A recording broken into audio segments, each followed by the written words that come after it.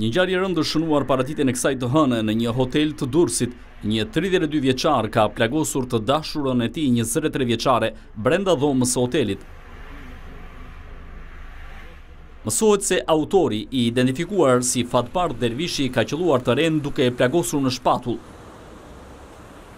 Sipas dëshmisë së vajzës, i dashuri i saj ka qenë në gjendje të dehur dhe e ka qëlluar me armë pa dashje.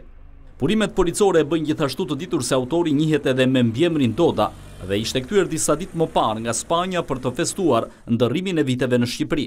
Pasi e ka plagosur të dashurën, i riu është larguar nga dhoma me vrap. Ndërkohë, ishin punonjësit e hotelit që njoftuan forcat e policisë dhe ambulancën. Tridhjetë e dy vjeçari Fatbardh Dervishi është shpallur në kërkim nga policia.